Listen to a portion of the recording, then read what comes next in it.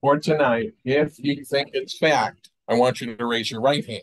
If you think it's fiction, raise your left hand. And then when it comes up all together, we'll say fact or fiction. That will make it somewhat more exciting, I suppose. All right. So here we go. You ready?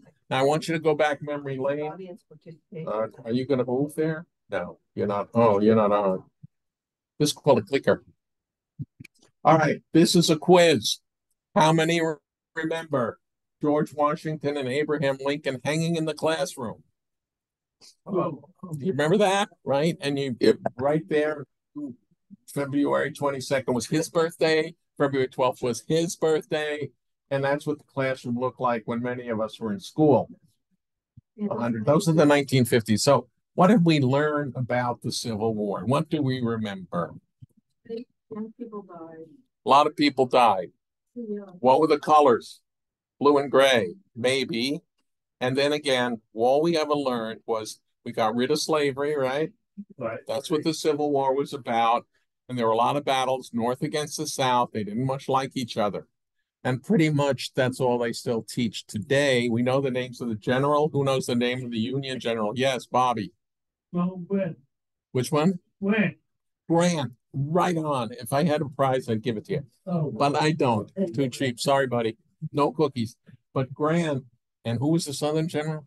Lee, Lee. Robert E. Lee. well, but you- In my checkered career, I have taught four Robert E. Lees and one Elise Lincoln and uh, a Michelle Lee. They number their kids. They're all Robert E. Lee, the first, second, third, fourth. I think I got to the seventh. But anyway, let's move on. This is a rumor. Civil War surgeons were butchered who hacked off limbs without anesthesia. How many think that's fact? How many think it's fiction? It's fiction. Why? Because they used chloroform. Oh, And all that you heard was fiction. They were able to anesthetize them in the field. And so they can operate on them. Give them a shot of whiskey. The surgery was pretty awkward. You know, you hack sawed off a leg or something. And if you go to Gettysburg, you can see where they piled the limbs. But that was fiction. Okay, here, after the Battle of Shiloh, Oh, there it is. I didn't, you, you win the cookie. After the Battle of Shiloh, injured so- soldiers' wounds were glowing. How many think that's fact? Fiction. Gotcha. Oh, it was fact. Because these wounds, it was a Photorhabdus luminescence. It's a bacteria that healed, but it glows in the dark. And they couldn't figure out these guys are lying there and the wounds are lighting up. Wow. And they say, well, oh, you know what they thought was like, oh my goodness, is God here or something? I don't know. All right, so that's a fact. Moving on. Did a woman become pregnant from a Civil War bullet? Fact? Fiction? Bingo. It's fiction. This guy made a career of saying that a woman became, how did she become pregnant with a bullet? You ready? What she did. They said a soldier took a shot and it hit a man in the nether regions in his scrotum and it passed on through and landed in the woman's belly. Oh. oh. And when the child was born, he was born with the very bullet in his scrotum. They, he wrote this up in the medical journal until somebody discovered it was fiction. That's the kind of stuff we're looking at tonight. Now, here's another one. Civil War generals on both sides were friends before and after the war. Fact, fiction. It is, drumroll, a fact. This is the Aztec Club of 1847. We never talk about it because you see, that was the Mexican War, and we don't like to think about that war because 1849, the war went on. They were all in, that's how we got Texas and California. So Grant and Lee were good friends. Lee was an engineer blowing up things. Grant was his buddy. This is George McClellan, Little Napoleon, Zach Taylor, here are the Confederates, and P.T. Beauregard, who we'll find out later. They were the veterans of the Mexican War. This organization still exists today with descendants. We also had, I love this group, and we'll talk about Daniel Sickles before. One legged General Dan Sickles, he planned it You can see all the generals who met in the Society of the Army of Potomac. They met every year in New York. And Sickles invited everybody to his apartment to plan and drink and plan and drink more and drink more. And Sickles we'll talk about a little bit later. Now, the Union Army formed the GAR, the Grand Army of the Republic. My man there, Carl Schurz, the German American, was the first GAR president in St. Louis. And these are all the heroes of the Republic. And that's the northern group. The southern group is Sons of the Confederacy. Now, back to fiction. Both sides at Gettysburg reunited and celebrated for 48 years after the battle. Fact. Fiction. It's a fact. This was original Pickett's charge. If you've ever, how many have been to Gettysburg? Oh, good. Or a field trip? I don't know. Gettysburg is a brand new museum, by the way, the uh, hospital museum, which is just awesome. And it's maybe we should take a field trip at ten dollars. Sounds good. Yeah, sounds good to me. But Pickett's charge, um, running up the hill to the stone wall, and years later, at the first reunion in the 1870s, early 70s, the old boys from Pickett's charge ran, walked up the hill at this point and shook hands with the opponents and made peace, which is something they don't like to talk about. There, there's so much revision, revisionist history now that the stories are changing. And I like to go back and take a look at what really happened. These are at the monuments, which are all over. This is Crown, Indiana, and the, the, all the soldiers would gather at the monument at Gettysburg, which brings us to this. This is from Bruce. This is in Bruce's little wooden box that his relative, I think it's your wife's great grandfather, I think, yeah, his name. And you look at the ribbon, there's the uh, monument to the 134th Regiment of New York Volunteers. These guys collected them, and they must have meant something because this has been in your family since whatever. And then they would each get a medallion or a little a medal. Uh, and so thank you, Bruce. And we have a picture of Charles Wood, who was at a member of the GAR post number 198. He enrolled August 1862. He was a corporal, first sergeant, and mustered out. Now, the thing that's interesting, if you were in the volunteer army in the Civil War, your rank meant nothing after the war. So you could go from a major to a private in the regular army. What did that affect? Your pension. Now, Confederate soldiers never received a pension. Fact or fiction? They lost the war. What do you think? Fact? It's fiction. Well, we'll see why. This is um, my aunt by marriage. This is her grandfather over there, Seaborn Camp. The Camp brothers were from Georgia, the 11th Georgia Infantry, who were, and they went to every Gettysburg reunion they could find. This guy was known as the Colonel, and Colonel Camp. Actually, he was a sergeant, but since he was the only one left, he went by Colonel. And over there, Seaborn Camp, my aunt's grandfather, they lived on a Texas pension till 1936. Now, how did that happen? Well, it's interesting. He married an 18 year old woman. Yeah, they all did. All the old boys married the younger women so they could keep the pension for life. So there you go. So it, it and Seaborn Camp, I met his son, would you believe? I know him. And there were four brothers, and they went to every reunion except the fourth brother. He deserted in Petersburg and escaped to Arizona. But they all look like my cousin says they look like ZZ Top. If you remember that. Fact or fiction? Short hair and haircuts were required of soldiers. Remember the, the during the Vietnam War, the big hassle about long hair? Well, did Civil War soldiers um, have to have short hair? Fact or fiction? Fact. Fiction. It was fiction because look at these hairstyles.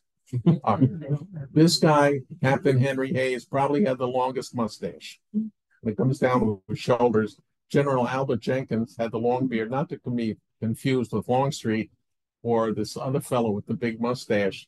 Now, if you look up here, look at Lincoln's do before he grew the beard. And then there's this fellow. Now, Ambrose Burnside in the upper left is known for sideburns today. That's we get that. And you'll perhaps wonder why Anderson Cooper is there. See the man on his left? That's uh, General Judson Kilpatrick, and his grandson is Anderson Cooper. And Kilpatrick is from Newton, and he's known as Kill Cavalry because that's what he did. He had a reunion, by the way, up at his house there in Newton. They had more people at the reunion. They were living in the town of Newton because that so they were quite the group. Longstreet, by the way, ends up working for the government, the American government, as ambassador to Spain after the war. His wife is from um, down by Rutgers. Now, New York City wanted to secede from the Union because of Confederate money and the so-called shoddy uniform manufacturers. Do you think that's true? We have to get her a chair. So anyway, true fact. New York wanted to secede. How about fiction? Oh boy. It is fact.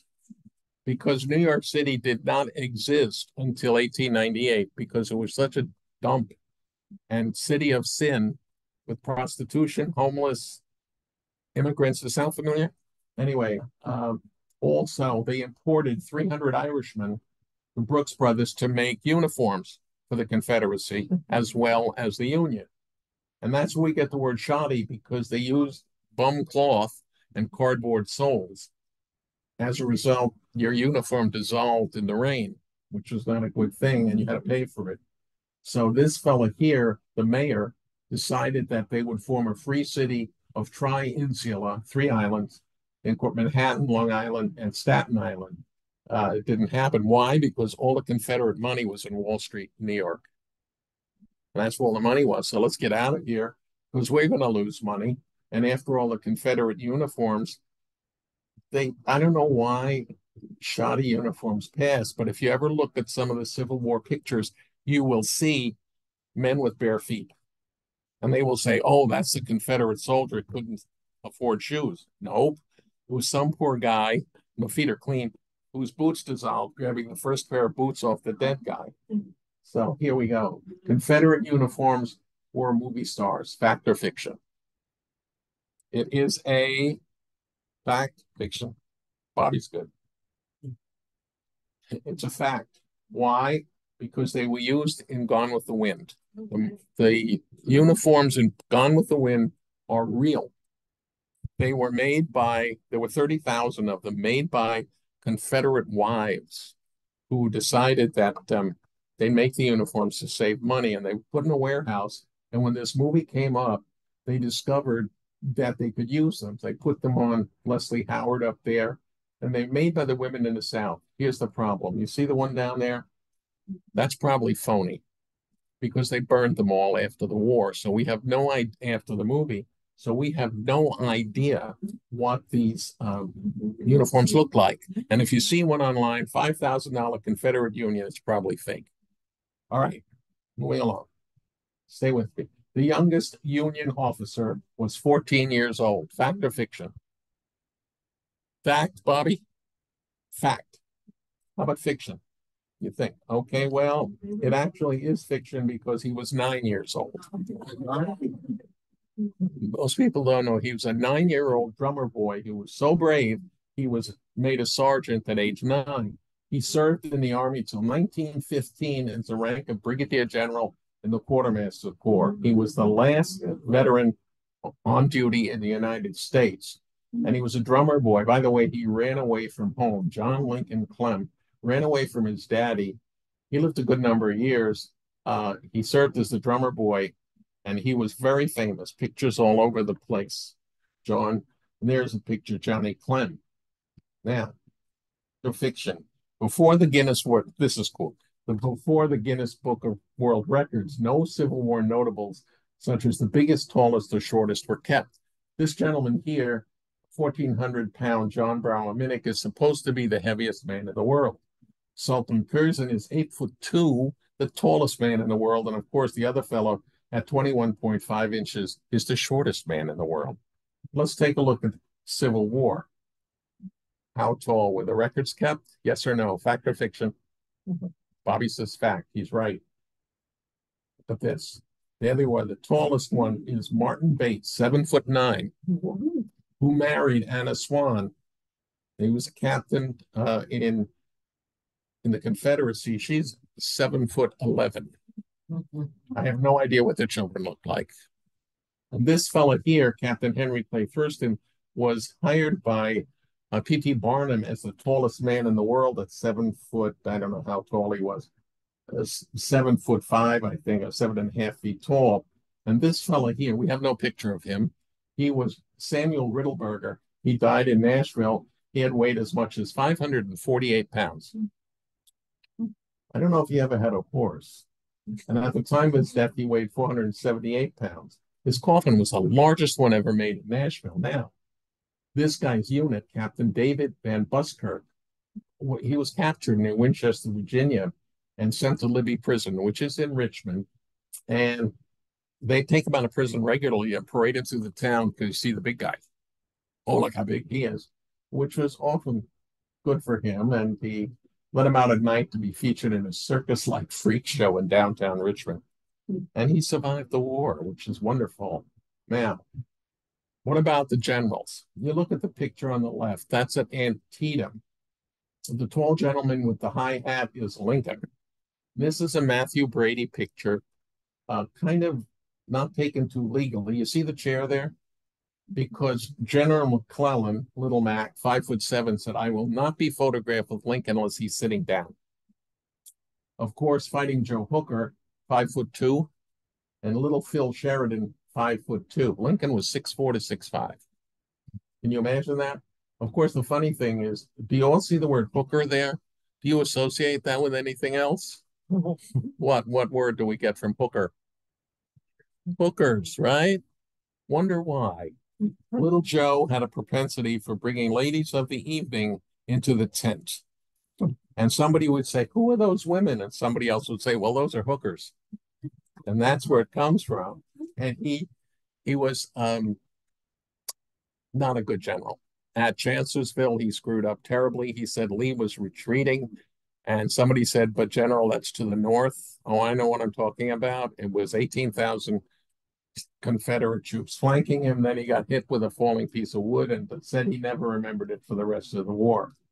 McClellan kept waiting, so Lincoln fired him. Little Phil was, uh, by the way, Little Phil Sheridan was later on put in charge of Native Americans after the Civil War. He's the one who said the only good Indian is a dead Indian. All right, here we go. There were local heroes led by General Mother McAllister and the boy soldiers immortalized in a stained glass window. Fact or fiction? Hmm. Fact? Fiction? He cheated because he knows the Presbyterian church. All right, this is a stained glass Tiffany window in Tennessee. There is a chapel in Tennessee where each unit from the Confederacy commissioned Tiffany to do this is the first Alabama. But that's not the one I'm talking about. This is Mother McAllister. I want to tell you his story. If you go to Belvedere, he is from Warren County. You go to Belvedere, that's his graveyard with his uh, gravestone, with his picture on the front of it. It's about a story high. He had no ego. if you go to Oxford, which is up the road here, he built the railroad tunnel. He was an engineer, but when he raised a troop, and they were from all over, including Hackettstown and uh, Dover and that, he was a Christian, born again Christian, and a teetotaler. He did not believe that anyone should drink at all. He's got about 50 Irishmen out of Dover. They didn't sit well. Well, anyway, as he gets to Gettysburg, and we'll see that in a minute, half of the unit was killed at Gettysburg. There were 90 came from Dover and Randolph, and seven went up the hill. Why? Because General Dan Sickles got lost. He's on the Emmitsburg Pike. The story you learn in school is that he arrived late and repositioned the troops. Well, here's the Klingel farmhouse. This is the Emmitsburg Pike today. You see the blue cross is? The farmhouse was filled with Confederate snipers. On his left flank, he had the Confederate division between him and the Peach Orchard, and coming out of was McLaws division. The boys trying to run up the hill, and um, now we'll see about Private Searing from Dover and Searing Street, who bent over to check his pants. And when he stood back up, the guy behind him was dead. And all of them are unknown because they, they took a lot of artillery. Uh, this is Hackettstown's own. This guy at 125 Main Street in Hackettstown owned a general store. This is Major Thomas Halsey, who was a um, station master in Dover. He was on the town council. The letter on the left, which I got from his great granddaughter, was written by a fellow soldier because he was captured at Andersonville and suffered pretty much through that. He returned to duty, worked station master in Dover, but then he opened a store 127 Main Street and moved to Missouri. Why, I don't know. But when he came back, he's buried in Orchard Street in Dover. What time is it? Uh, it is now 507. You good? Thank you. Okay. So he um he opened the store up here, moved to Missouri, and when his body came home, all the buttons and the sword were missing. And he's buried in Orchard Street in Dover. All right. This is the stained glass window, which is in Phillipsburg. It's in the Presbyterian Church in Phillipsburg. It's been restored. The county gave $90,000 to redo it. And because of the chaplain from Dover, E. Clark Klein of the 11th New Jersey, probably the bloodiest losses that you could imagine of all those boys being killed. Now, Mother McAllister, the first thing he did when he arrived in the camp is he built a chapel. And then he gave out little broadsides so the boys could have a prayer service. Then he gave out the liquor. But he also got hit at Gettysburg. The famous story is called Gettysburg Milk. He gets shot off his horse. His cannonball is still in the Rutgers Library. And they say to her, Well, General, you need to have some whiskey before we operate. Oh, no, no. Whiskey will never pass these lips. So they put the canteen full of milk, poured the whiskey into it, gave it to him. For the rest of his life, in his memoirs, he said nothing was as good as the Gettysburg milk. That was part of it. All right, fact or fiction, Civil War veterans memorialized World War One veterans. You think they lived long enough? Fact or fiction? I'm only getting Bobby there, and he's probably right. Fact. If you go to Dover and Bird Park, you see the soldier, the World War One soldier. Somebody stole the gun. Yeah, and he each one of those stones has a veteran's name on it. And if you go, this is Alonzo B. Searing of the 11th. He was the postmaster in Dover, and his buddy over here, Charles Hopkins from the first New Jersey. Hopkins was a Medal of Honor winner. He escaped from Andersonville prison four times. They almost hung him. But he gets to Boonton and he lives till 1935. And he and Searing get together mm-hmm. and they raise the money for the World War One because their grandchildren were in the World War One army. And they named streets after him. His descendants are named Mariziti, not Yeah, Hopkins. Still, Pardon me? still have the Hopkins house, Where? In Boonton? uh, no, in Dover. It's where all the ro- uh, the trees are. That blue, Hopkins? I didn't know that. back, back there. Uh, Wow. yeah, I didn't know there was that connection, but they were friends. And over there is the Boonton Opera House, which is no more. It's on the second story there. And every year, all the Andersonville prisoners would come back to Boonton for a reunion and meet up. They suffered pretty, pretty hard. And who's from Randolph? Brundage Park? John Brundage was one of those. And he would come back. He was in Andersonville prison. Yeah, and they suffered, let me tell you. Fact or fiction, the Union Army wore only dark blue uniforms. Well, only Bobby's answering. Come on now. I know it's late after supper. You gotta get, well, we don't know. The fact is, it's fiction.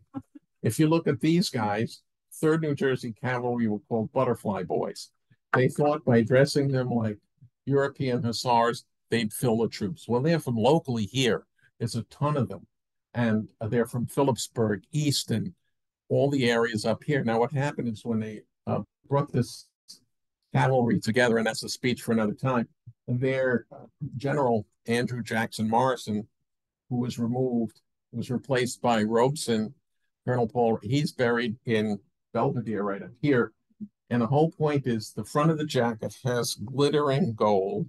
The inside of the cape is bright orange, which they put backward. And By the way, the general said, we don't need rifles. All we need is a saber to charge at the enemy. And since this large group was mostly Germanic, all I could see was saying, uh, excuse me, we can have a rifle maybe, you know, but they had to be under five foot six and 145 pounds to be in the cavalry. And they carried rifles. Their success was when they fought under Custer. Because Custer said, you put the horses over there, you guys get behind a tree. They had the lowest casualty rate. And many of them, one of these men owned what is now Waterloo Village down here and part of Stanhope. It was a farm. Uh, but the problem was the doctor was from Hackettstown and he had memory issues. So when they went to apply for their pension, I forgot. So that all of the stuff in the National Archives is amazing. There's diaries and everything else. Now, here are the uniforms from the Zouaves. Now, I want to run into battle with red pants. You Yeah, think? No way. No, not a good idea. Now, here's the next crowd. Um, wait, let me go back one. Did I miss one? Now, those are the Zouaves, followed by fact or fiction. The regiments on both sides were predominantly white Americans. What do you think? Fact or fiction? Uh-uh. It's fiction. This is the officer corps of the 20th New York Volunteer, the Turner Rifles. Now, Turners are German American gymnasts. They all go and do healthy exercise and gymnastics. And all of the Turner groups, German speaking only, became whole units. Babe Ruth's grandfather, great grandfather, was a Turner in Baltimore in the Civil War. Now, that's the Turners. How about this is these are Tejanos. I've never heard that word before. They are descendants of Spanish Creoles and Latinos. And these are the, the Benavides brothers. They're in the Confederate Union. Look at the stars and bars here. Pay attention to the stars and bars. The bars were added to get the Brits, British Isles in. All right. These are the Spanish descendants. And if you look on the left, Stephen Vincent Benet, whose son wrote John Brown's Body and became a poet. This is Admiral Farragut, famous for saying, damn the torpedoes and full speed ahead. And I never knew he was of Spanish descent. And there's some more, Colonel Carlos Alvarez de la Mesa. He was at Gettysburg for the Union Army. Now, what about the Jewish people? Well, these are the Jewish generals. We have quite a few of them. This is Salomon, commander of the 82nd Illinois. It contained more than 100 Jews fighting for here. When the Confederate Union armies collided in battle, he was at Gettysburg with the Jewish troops, which people don't talk about too much. There's General Leopold. These are the German, the Jewish generals, mostly Germanic. This is in the Confederacy, and up there is Bernard Baruch. He's the father of the famous Bernard Baruch, the financier. And here they all are. And I just put that there so we can remember. Now, this guy is the only Native American uh, general. His name is Stanhope Uwati. He's a Cherokee Indian and he had a Cherokee troop for the Confederates. The problem with him, after fighting there, they put a statue up for him in Texas somewhere. And they've since taken it down because nobody realized they thought he was a Southern slave owner Uh-huh. and they they're not a Native American. But here's the thing: he fought for the Confederacy because the Cherokees owned 1,600 black slaves. Didn't talk about that part much anymore, but anyway, so that's this is the German Confederate Nikolai Marschall, who designed the first Confederate flag, which is up there in the middle. The bars were added later because they wanted the British um, to come into the same war. And he was also designed the gray uniform of the Confederacy. And he was from somewhere in mid Germany. And this is, of course, the famous Irish Brigade. Uh, they came out of New York City. They're very famous for all the battles they fought in. And Thomas Francis Meagher was an Irishman leading up the parade. So there was quite a bit of div- diversity. They guess somewhere north of 600 to 800,000 immigrants in the American Civil War. Both sides. This gentleman was the highest ranking African American. He was a surgeon. And that's as far as he got. He became a professor of medicine. There were 186,097 black men in the Union Army. seven thousand one hundred twenty-two officers and twenty thousand black sailors. So we don't hear much about that either. Of course, we can't leave out the Italian group, Frank. Now, can I? You want to catch the hat? Now, only the Italians know, Frank. I can't say this, would wear a red jacket into battle. You know, you could paint a nice target on the front. Yeah. I like the hat though. They're from New York City. And they were very fly. I actually went to an Italian Italian uh reenactment. Dressed funny, but that's another story. Women stayed at home. We have to look at women in the political sense today, and they were not involved with the war. Fact or fiction? Fiction. Look at this lady here. She died December two thousand twenty-three as the last woman to receive a Civil War pension. How did that work? Well, her neighbor was 93 and he needed care like assisted living, and she was about 13.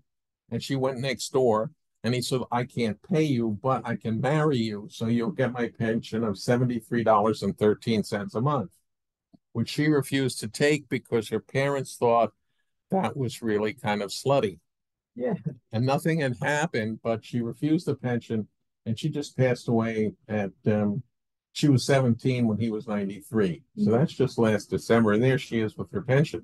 Women married to soldiers got six dollars a month and until they died. Now in 1890, they put a pension in for them.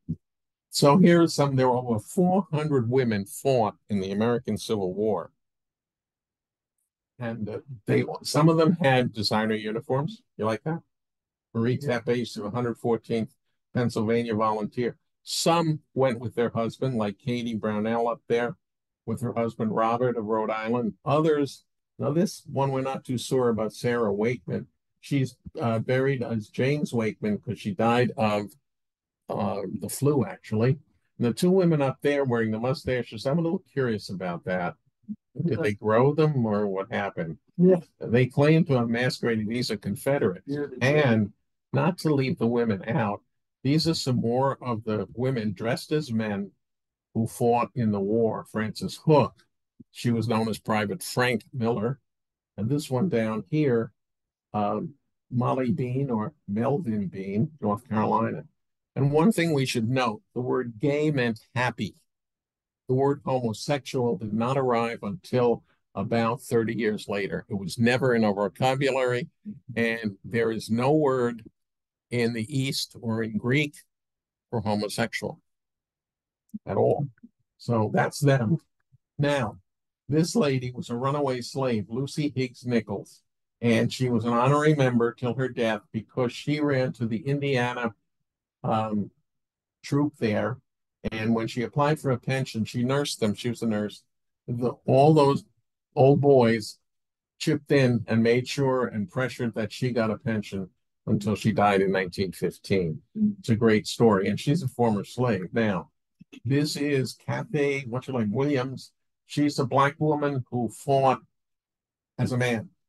And somehow she ended up in the Indian Wars. You have to wonder, though, how they could stay disguised for that long. But here we go. But with the Civil War raging, there were no society or balls or high society with money. Uh, fact, oh, we're getting lazy with the hands here. Fiction. The lady on the left is the most beautiful woman in Washington, D.C., um, Kate Chase, and they all went to different balls. Note the outfits. I have a friend who has those dresses, and it takes her 45 minutes to an hour to get dressed. That's without doing her hair, which you would do like that. I like that style up in the upper left-hand corner, don't you think? That's kind of an earmuff thing going there. Or the lady down uh, down the bottom left corner with all the hair. And they were very much into fashion, dress, and hair. This is the first lady of the Confederacy. We never hear about her. She is Marina Ann Banks Howell Davis, the wife of the Confederate. Uh, guess where she's from? New Jersey. born and um, she was born in Mississippi, but her grandfather served as New Jersey governor from 1793 to 1801, and she's married to Desmondson Davis. This is my favorite story. This is Princess Salm-Salm. I'm thinking, what is going on here?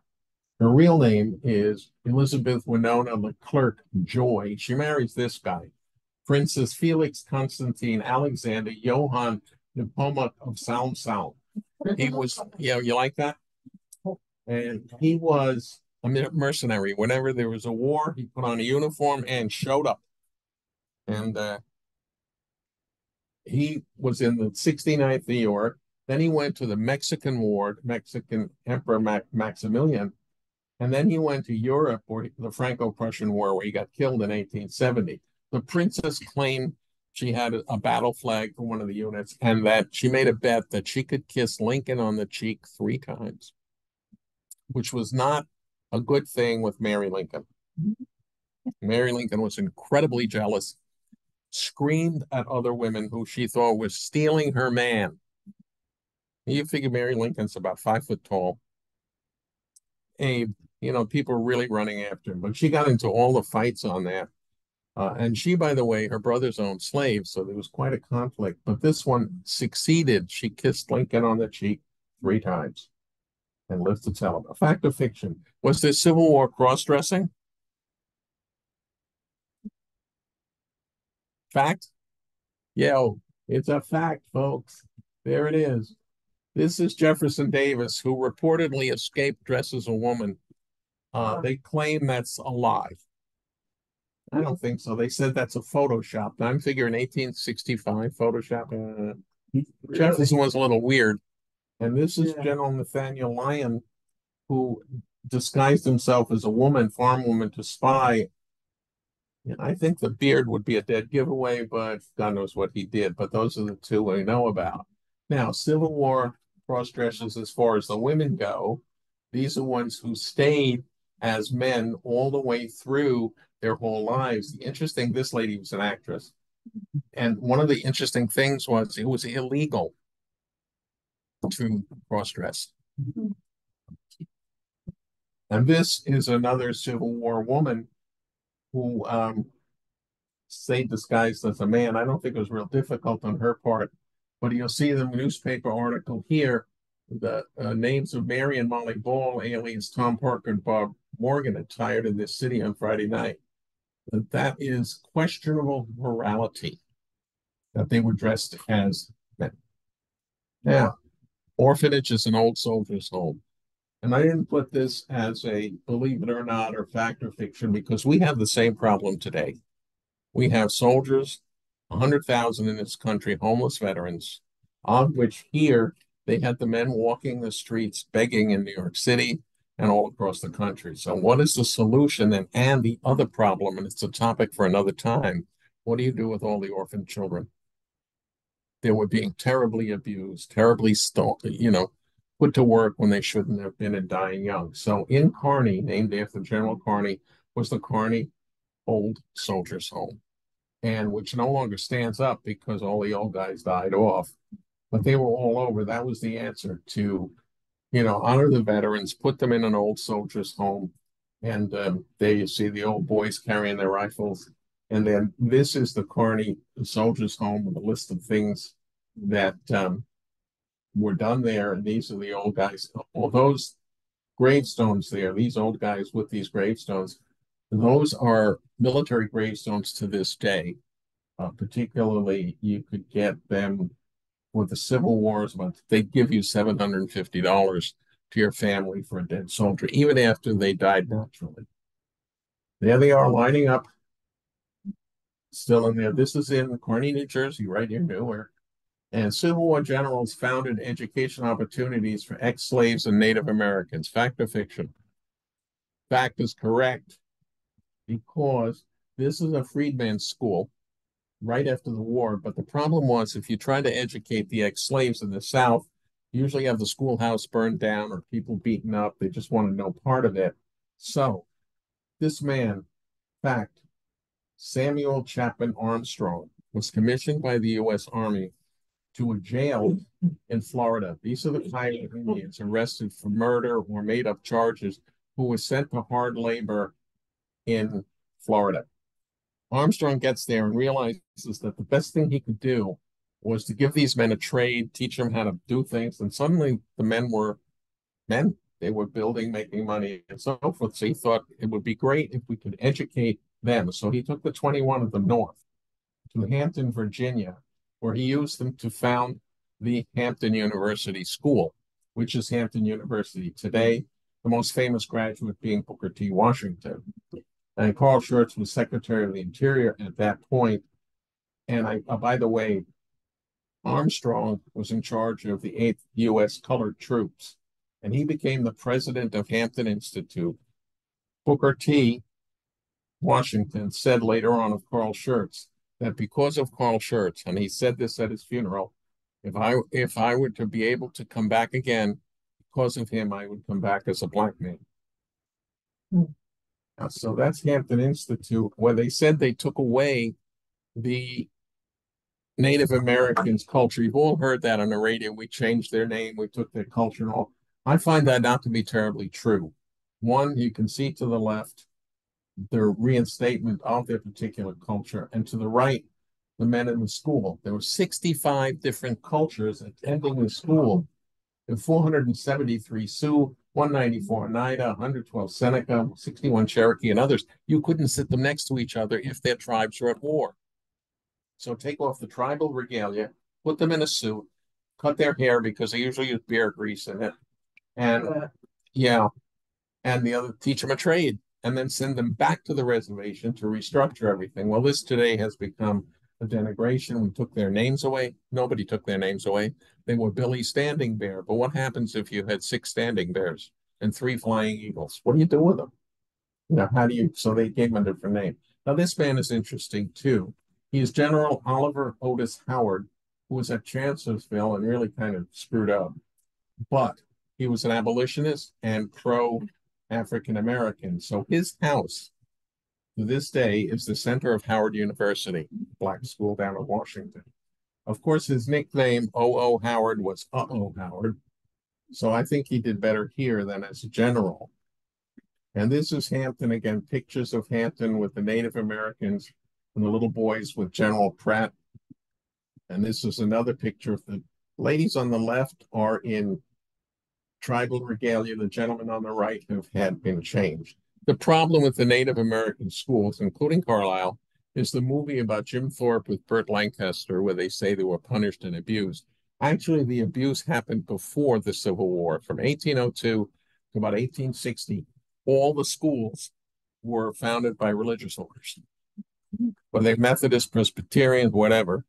And some of the Indian chiefs came to Carl Schurz and said, Could we have government schools so we can retain our culture to that point? That gets morphed. Now, fact or fiction, Civil War generals did some strange and unusual things. This guy, Yes. Sam, what, yeah. General Jackson, when he fought, he put his left hand in the hair, air because it circulated blood to his heart. And he also sucked lemons. A Little strange. I have no idea why. What? He sucked lemons. In the middle of the battle. You know, yes, sir. Does it work? No. Sorry, Frank. This is one of my favorite general stories. At Gettysburg, here he is. Georg Alexander Ferdinand von Schimmelpfennig von der Hoya. Oh. And he came, he was a German revolutionary uh, with the other German revolutionaries in the battlefield. And when his name was presented to Lincoln as a general, Lincoln, this is a quote, Schimmelpfennig, Schimmelpfennig, Schimmelpfennig, I'll make him a general. And Lincoln had a high pitched, squeaky voice too. But he gets tuberculosis. Now, what happens at Gettysburg? He's retreating up the hill and he sees the Confederate army coming at him. So he runs into an alley and hides in a pig pen for three days. Oh. And then on Sunday, the people in the house thought so much of him, they invited him in for dinner. Wondered about that.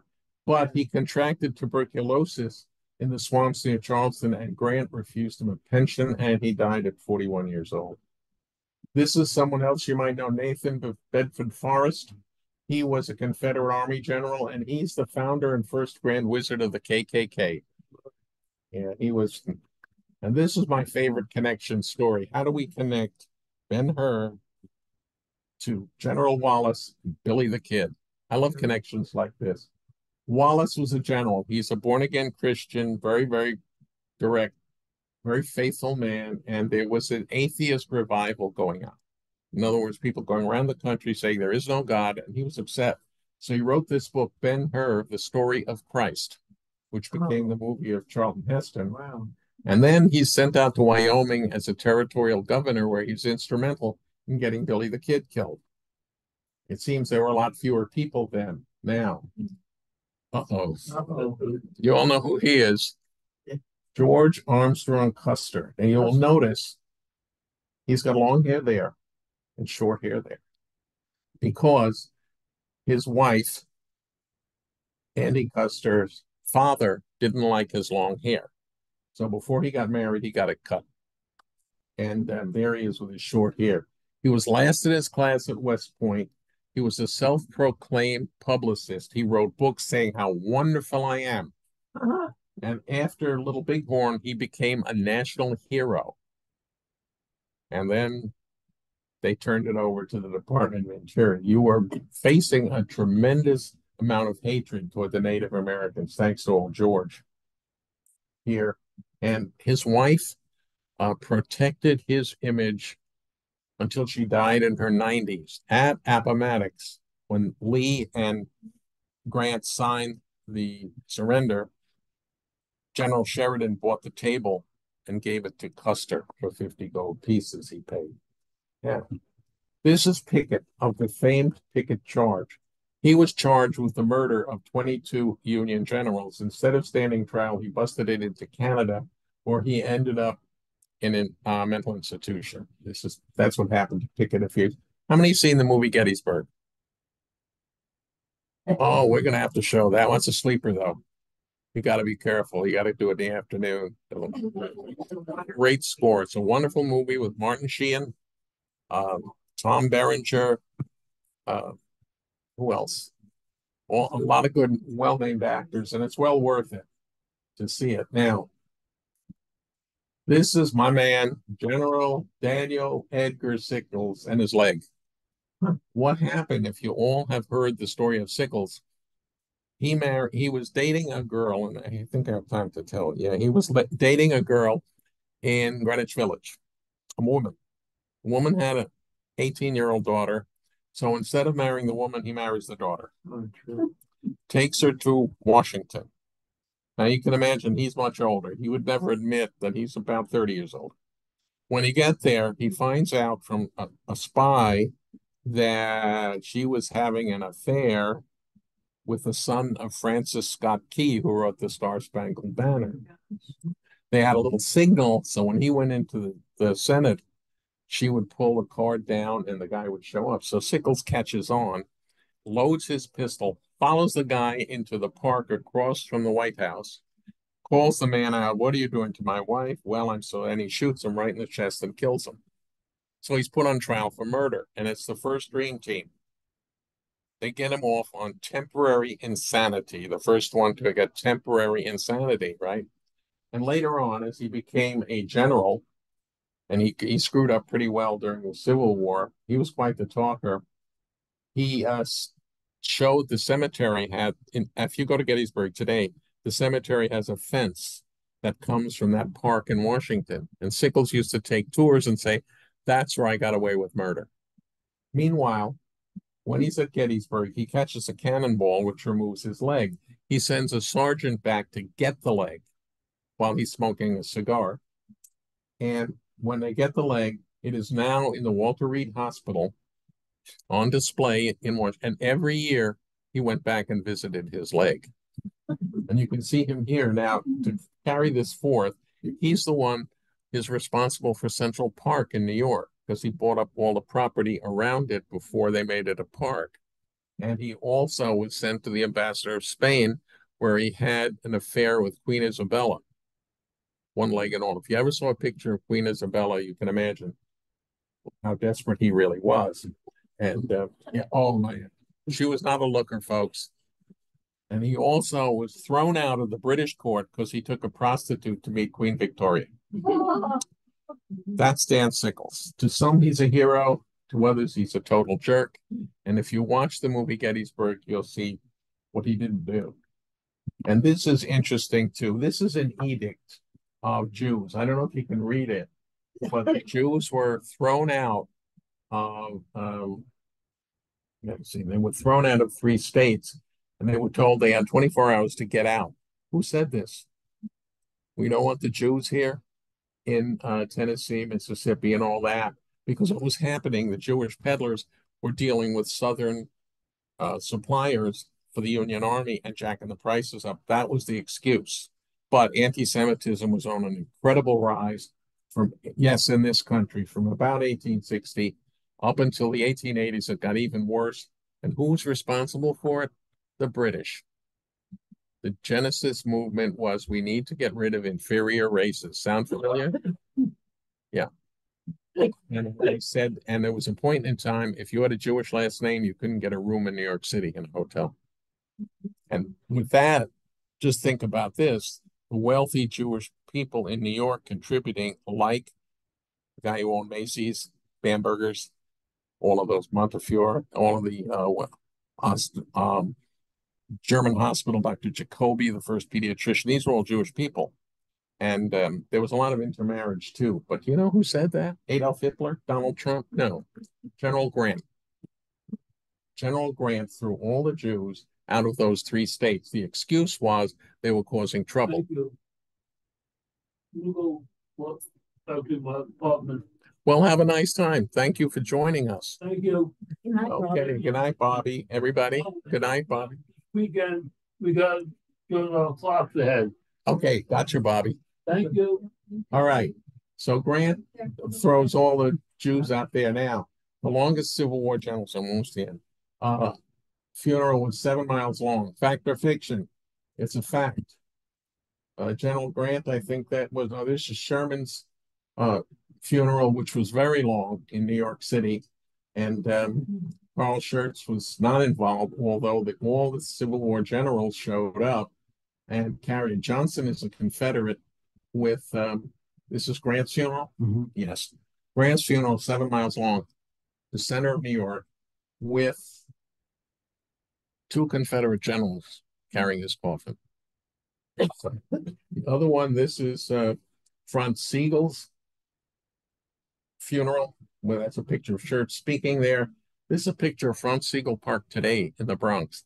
This funeral went down the concourse. And by the way, look at the picture of Sigel up there. You see the head on the, the figure? Every general picture you see has that horse. They just change heads. Oh, my God. This is William Tecumseh Sherman's What were funeral. Coffins made of? What's that? What were the coffins made of wood? For these funerals? For I have a friend who does a whole presentation on it. Uh, the coffins were often made of metal to be transported. And embalming just started in the Civil War. Lincoln, Lincoln was embalmed eleven times. Because they put him on, you know, display. Right. This funeral here is a Sherman's funeral. He lived on Seventy-Fifth Street in New York City. Streets were crowded with supporters. Fact or fiction? There are no Confederate veterans buried in the North. Fiction. These two guys are buried in Morristown. This is a priest, Catholic priest from the Confederacy. Over there is Henry Harrison Walker. For some reason ended up in Morristown Cemetery, and the Johnson brothers are buried in Barryville, New York. Uh, because there was a train wreck up there that killed Confederate prisoners now. Lastly, this is just an add-on and I am done. This is my old neighborhood in Manhattan on a very old map, and I could never understand to this day. I lived on Dongan Place, General Dongan, near Elwood Street, General Elwood, near Sherman Avenue, Thayer Street. All of these streets were named after general Civil War generals. I have no idea why. That's just an add-on. Thanks for listening. Thanks for participating. That's important.